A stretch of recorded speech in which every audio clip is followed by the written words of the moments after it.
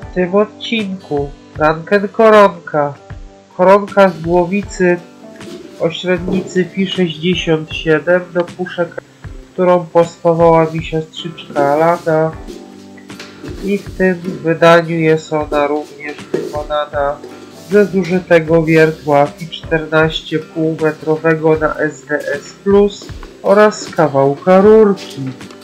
Doskonale nadaje się do przewiercania pod rury kanalizacyjne 50 do przebitek przez ściany, czy na większej ilości przewodów, również przebitki przez ściany.